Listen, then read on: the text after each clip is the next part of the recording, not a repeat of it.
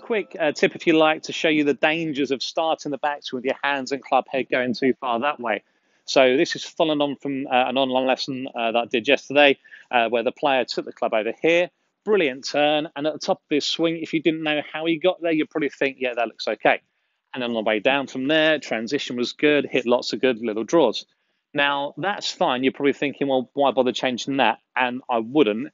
Only issue is if you're hitting not a full swing, maybe it's a knockdown with an eight iron rather than a full nine iron, or maybe it's a long type of pitch if you go this way with your hands and don't have a full turn, your hands are never deep enough.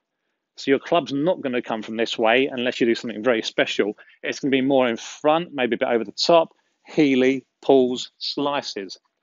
So that initial move in the backswing, to keep it consistent with all lengths of swing, as in a consistent ball flight, we need to take the club a bit more with the hip turn. So at this position here, when your club's shaft is parallel to the ground, if there was a neutral position, it's going to be hands in the same line as the club head.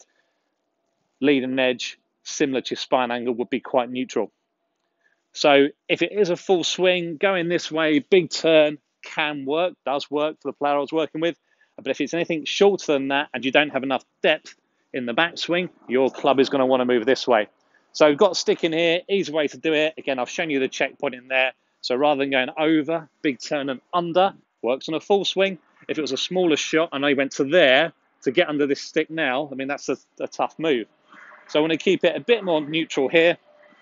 The checkpoint I gave you, I'll be getting close to the stick, not whipped in behind, because then there's more problems from there.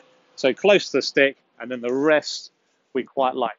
Any questions on that, let me know. Just be careful with that first move if you're someone that takes it away, especially on smaller shots.